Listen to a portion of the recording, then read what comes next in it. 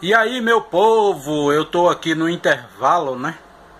Tô no trabalho. Vamos sair hoje fazendo setográfico. Brasília DF. E a Lady está revoltada porque a Rede Globo demitiu ela, né?